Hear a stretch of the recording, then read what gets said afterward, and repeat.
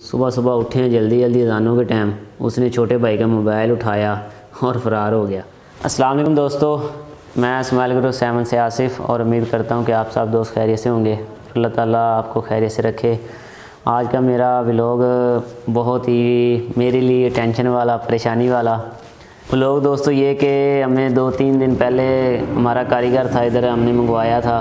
पहले जो कारीगर थे शॉप पे, जो कि हमने फ़ूड पैंट की शॉप बनाई हुई है। ये इस वक्त मैं बैठा भी शॉप में ही हूँ।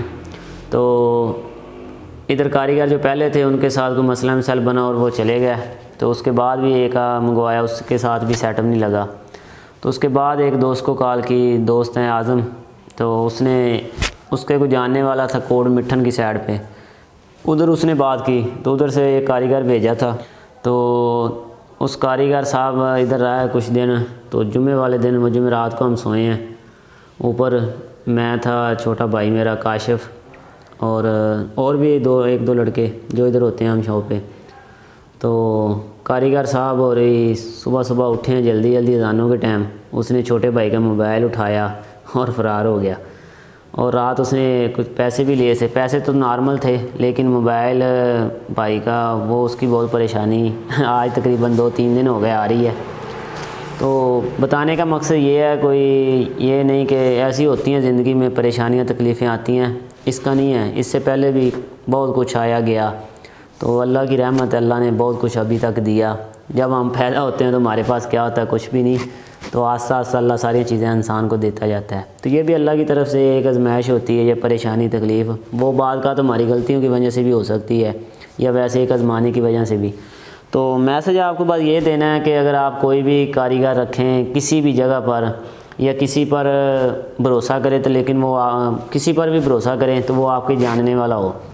जिसकी आपको जान पहचान हो कल को आप पड़ताल कर लें किसी ना किसी रेफरेंस के साथ मकसद को आपसे मिला हो कि कल को आप उससे जाकर पूछ लें। तो आज मुझे तकरीबन काफ़ी दिन हो गया काफ़ी टेंशन बनी हुई है कि उसका कोई पता नहीं चल रहा। तो मोबाइल का डब्बा हम लेकर आए हैं अब बंद भी करवाना है। ये ए बुंजा मोबाइल है ओप्पो का। तकरीबन हमने तीस बत्तीस का लिया था। बत्तीस, तैंतीस का गालबन। तो कोई मसला नहीं, मोबाइल तो भाई को ले ही देंगे इन आज नहीं तो कल कल नहीं तो परसों। थोड़ी बहुत परेशानी तो आती है, आपको भी पता है एक चीज़ है। तो एक बस बड़ी परेशानी ये है कि हम उसे उस्ताद उस्ताद बुला रहे थे। तो एक उसे बहुत इज़्ज़त दी, एक हफ़्ता घर लेकर गए खाना खिलाया, दुकान पे बहुत इज़्ज़त के साथ सारे लड़कों ने रखा। लेकिन उसके बावजूद उसने ये बगैरती की। तो रहना उसके पास भी नहीं है। किसी ना किसी तरीके से हम हम हिसाब भी लगाएँगे इन तो कोशिश फुल करेंगे। आगे अल्लाह मालिक है। तो दरख्वास्त भी मैंने दी है थाने की। ये दरख्वास्त मैं आपको दिखाऊँगा। तो थाने वालों ने पता नहीं करना है या क्या करना है। लेकिन कभी ना कभी चलो कोई सिस्टम लाग ही जाएगा। लेकिन बस आपको इस व्लॉग बनाने का एक मैसेज देना है। कि आप जब भी किसी पे इंटरेस्ट करें, किसी बाहर वाले पे तो किसी ना किसी रेफरेंस से करें, उसकी कोई कोई आईडी कार्ड या कोई इस तरह का ना, जिसको आप जानते हों या कोई ऐसा। तो बस आज का यही हमारा विलोग है। एक मैसेज ही, है तो टेंशन है फ़िलहाल तो आपके साथ बस ये टेंशन शेयर इसलिए कर रहे हैं कि हमारे साथ ऐसा हुआ है, लेकिन आपके साथ ना हो। हालाँकि हम जो मैं रात वाले दिन घर जाते थे, लेकिन उसने कहा, नहीं नहीं, इस दफ़ा इधर ही सोना है, काम जल्दी दुकान खोलेंगे, ऐसे ऐसे। तो बस इसी टेंशन में, लेकिन हमें नहीं पता था उसने धोखा देना है या उसने ऐसे हमें मकसद चूना लगा के फ़रार हो जाना है। तो चलो, कोई नहीं, इंशाल्लाह, वो गया है, आज नहीं तो कल इंशाल्लाह मिल जाएगा। यहाँ नहीं तो आखिरत में तो ज़रूर।